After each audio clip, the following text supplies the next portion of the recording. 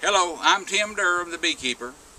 Uh, I'm going to uh, sh show you some tips on how to find the queen. Uh, there's two things that, that I really enjoy uh, as a human, and uh, one of them is going into a beehive and uh, see how they're doing, and the other is cuddling up with my wife. I'm 70 years old, and I found the, the fountain of love. Uh, that's a, that's another tape. If enough people ask me, I probably would make a tape on it, but uh, and keep it, uh, you know, keep it nice, of course. But anyhow, I hope this helps you on finding the queen.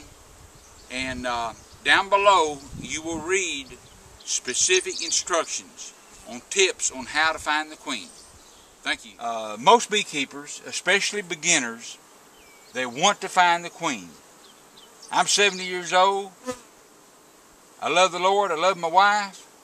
And I want to find the queen when I go in there. I like to see her. So, uh, I've been married to my wonderful wife for 47 years. Now, uh, I'm not going to over over smoke them. Smoke a little puff in there, a little puff in the entrance. I don't want to use too much smoke and get them to running around too too much.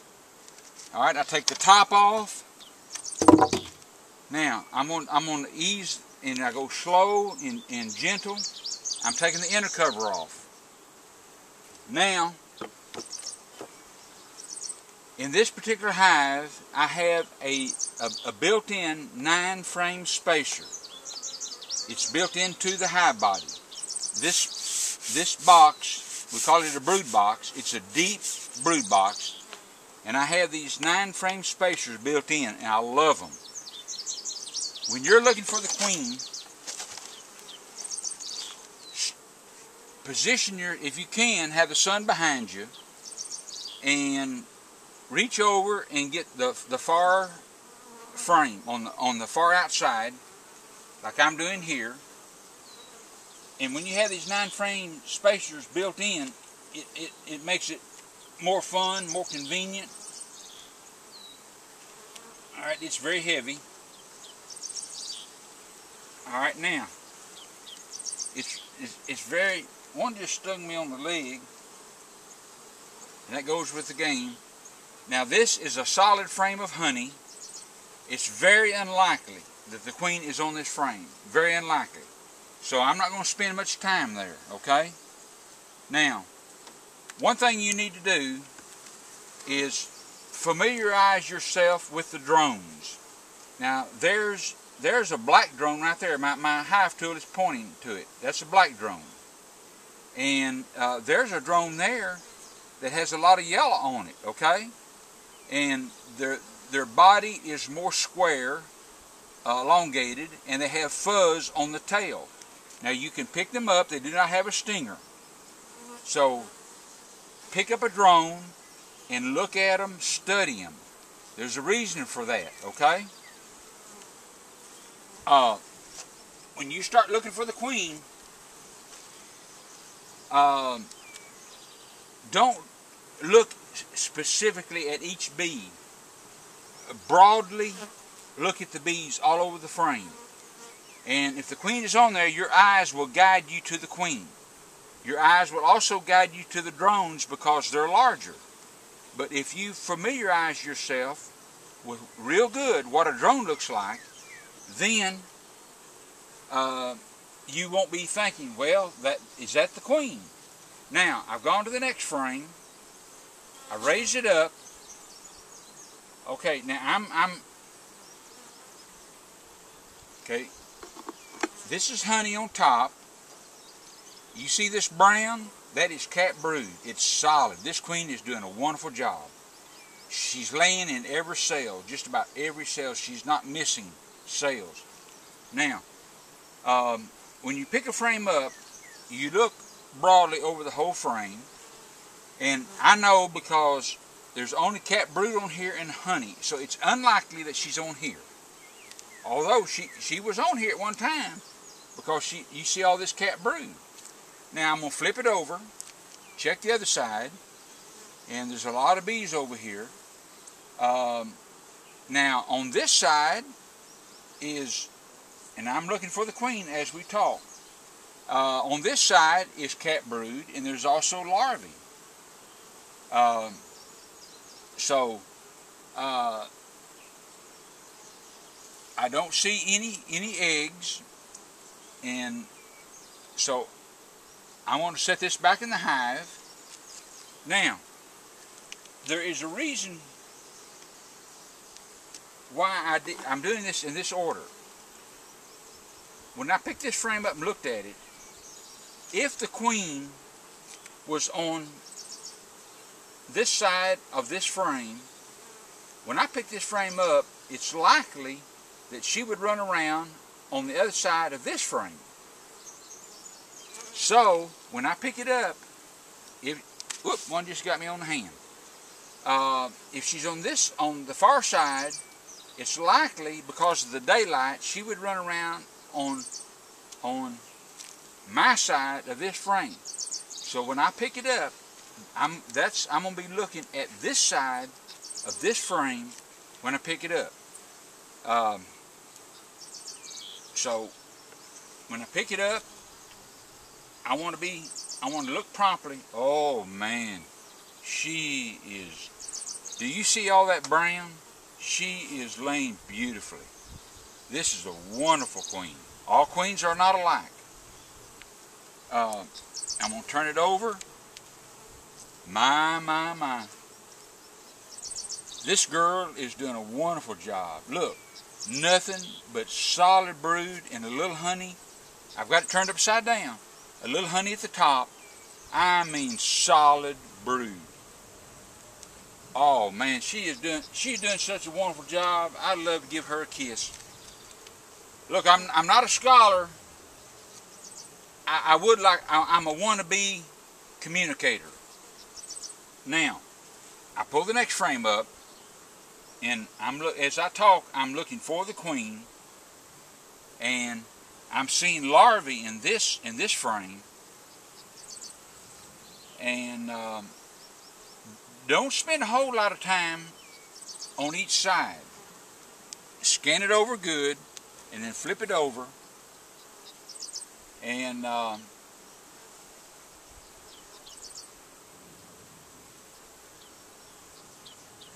I see eggs on this side. So she has been on this frame recently. I do see eggs. Now I haven't gone in this frame, this hive, you know, for a while. So you, are seeing what I see. All right, I'm going to put it down in there. I'm going to pull the next frame up. Now I'm anticipating finding the queen. Oh my goodness. Look at that wonderful brood. That, that, that brown you see is brood, and at the top is honey. I doubt she's on this frame because uh, it's just, now, I don't see her on this frame. Uh, the, down below on this on this YouTube down below I give specific instructions on how to find the queen. So read that.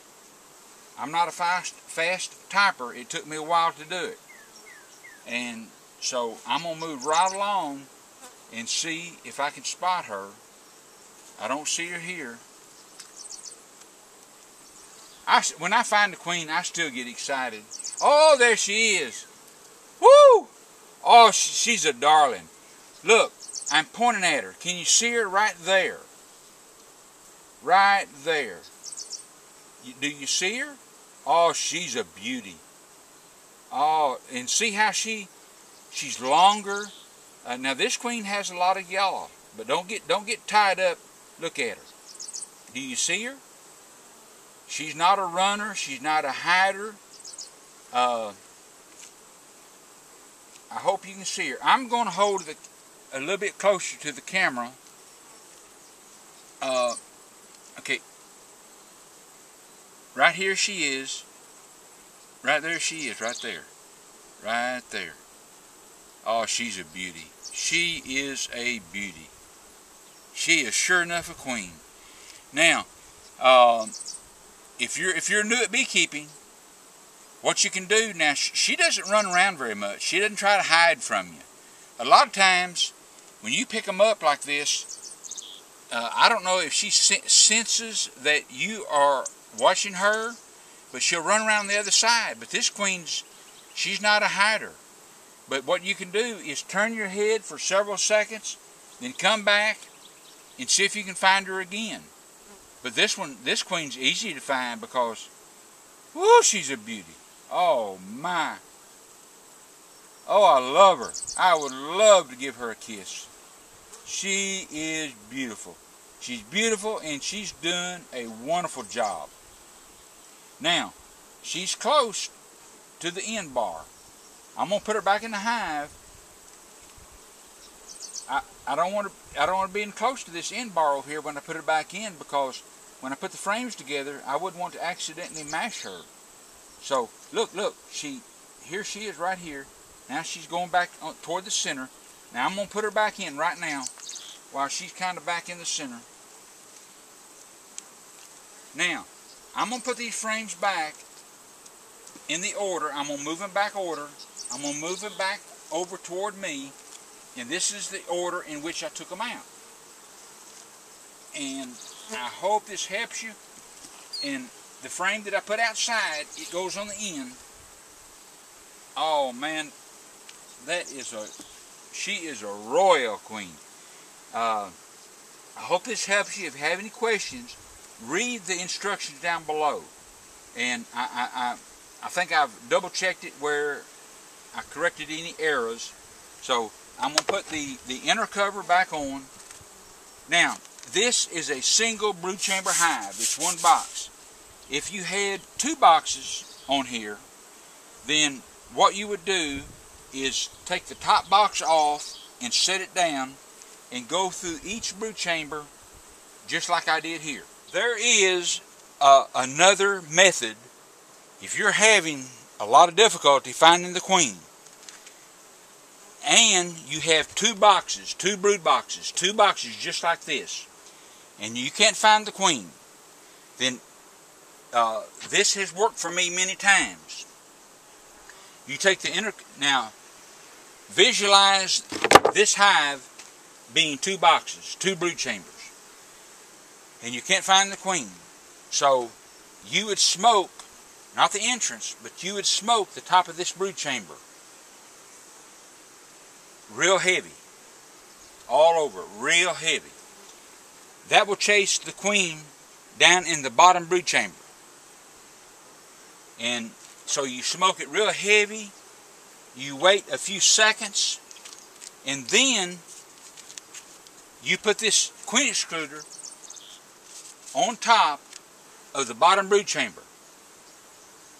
And then you can set the, the top brood chamber back on top of this queen excluder.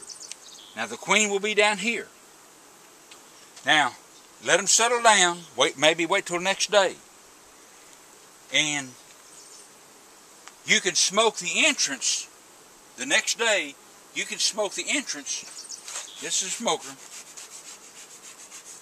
You can smoke the entrance pretty heavy. That will chase a lot of the bees up into the top brood chamber and wait a few seconds and with the top brood chamber setting on this queen excluder, you raise up the queen excluder with the top brood chamber on top of it. Now you have to do this fairly quickly. You raise it up and you've got the top brood chamber on top of it and you look on the bottom of this queen excluder, there are good chances you will see the queen on here because she, you smoke the entrance real heavy and she's trying to get away from that smoke. She's trying to go into the top brood chamber. So she'll be on the bottom of this queen excluder. So to recap that, uh, visualize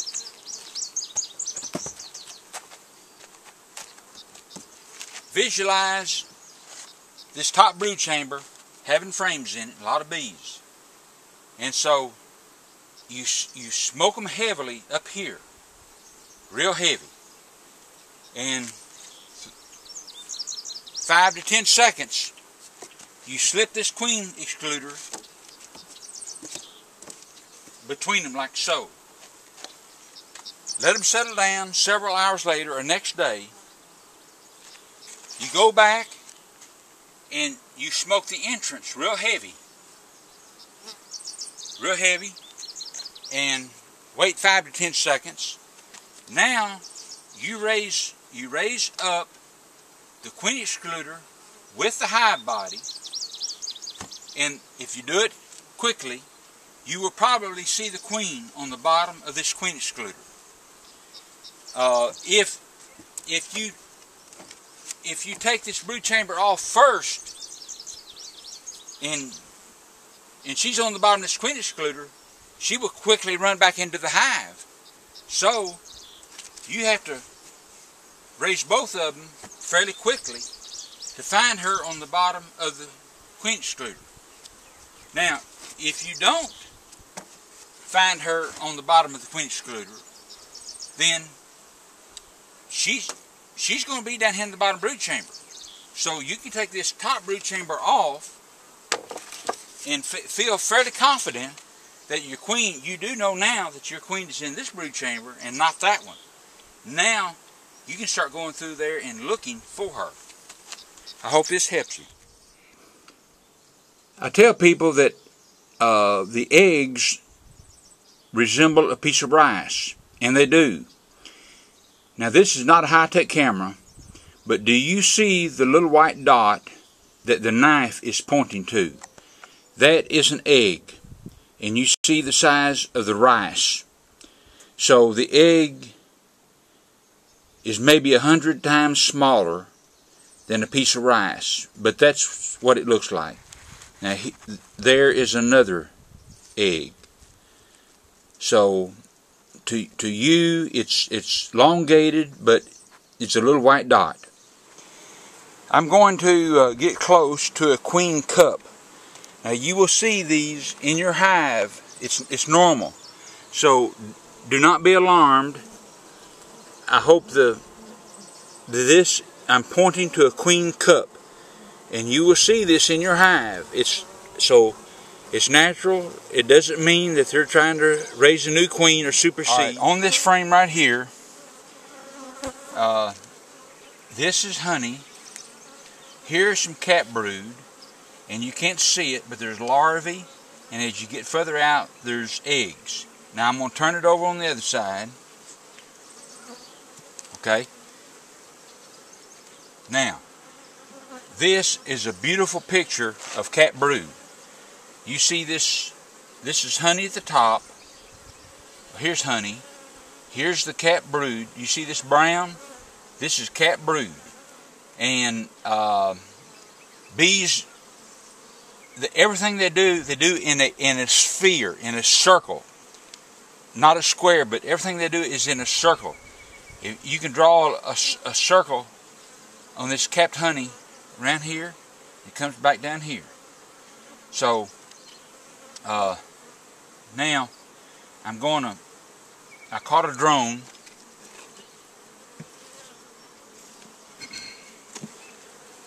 Now, I'm not I'm not I'm not hurting him, but this is a drone and you need to you need to do this. You need to uh, catch a drone by his wings and and um, Okay? Now,